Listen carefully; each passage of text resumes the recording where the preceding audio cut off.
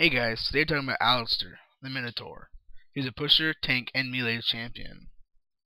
His first ability is Pulverized. Alistar smashes on the ground, dealing damage to all nearby enemies and tosses them into the air. On landing, enemies are stunned. Alistar's next ability is Headbutt.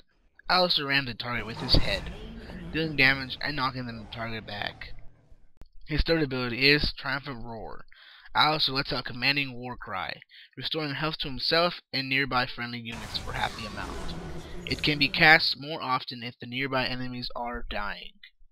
Last but not least, Alistar has Unbreakable Will. Alistar lets out a wild roar, gaining bonus damage, removing all the crowd control effects on himself, and reducing incoming physical and magical damage for the duration. Okay guys, so you're going to want to get your two summoner spells as Flash and Teleport. Now, for runes, you're going to want to get the Greater Glyph of Clarity, which uh, reduces your cooldown reduction, uh, Greater Quint Quintessence of Swiftness to increase your movement speed, Greater Mark of Replenishment, which is mana per 5 seconds, and then Greater Seal of Resilience, which gives you some armor.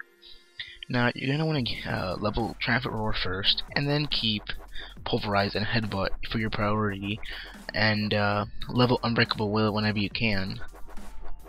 And uh, for the first item you purchase, you want to purchase a Doran's Ring, and then get the Philosopher's Stone, followed up by the Boots of Swiftness. Now after this, you can play a huge, you know, magic resistance type um, tank, or you can go just for full health. But um, what what I like to do is I get I like to get health, magic resistance, and then um, I like to get some armor. And since uh, um, Alistar is a AP tank, I like to get the Abyssal Scepter, which uh, gives me some ability power, magic resistance, and um, also reduces the magic resistance of nearby enemies. So for um, mastery trees, I like to, uh, you know, just follow a basic mastery for defensive and follow it up with 8 points in utility. Um, I think that's really good. I think the awareness ability, or excuse me, mastery is awesome because it increases the amount of experience your champion gains. I think gives you a really good heads up in stuff. okay, so here I'm going to fast forward to some footage of um, me taking a turret because, um, you know, I just wanted my team to get the kill. I heal myself, use Unbreakable Will to get away from any of the stuns that may have happened. Um, right there, Rumble dives the turret for a kill. And right here, I'm waiting for Rumble to come so for I pulverize. So I pulverize when he's in range to attack. Headbutt him back so he couldn't escape to the other turret. And basically heal just to heal. and uh, now going to the bushes, um, you know, to spend our gold that we earned. Um, so now you see uh, we just killed a turret. Nocturne came out of the bushes. So Veigar's the last one by himself. So we targeted him just because we know he can stun and do a lot of damage by himself. I cast Unbreakable Will to get out of Nocturne's fear and um, use a headbutt to finish him off.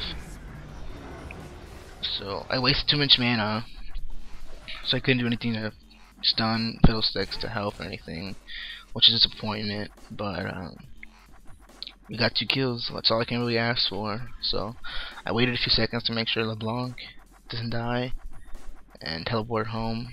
And right here, I see Veigar, so then kind of cocky. So I ran in there. He's unbreakable to get this done. Headbutted him back, and thanks to LeBlanc, we dominated him. Right here, LeBlanc dies because of Nocturne, and I hear I get stunned into. I actually, I get feared into Fiddlesticks um, Ultima die. So here in our last team fight, our team failed to kill us, and we just swept them and mopped them on the ground, and took the win. Thanks for watching, guys. Uh, hope you can rate, subscribe comment, like, dislike, I don't care. And don't forget to favorite. It really helps guys.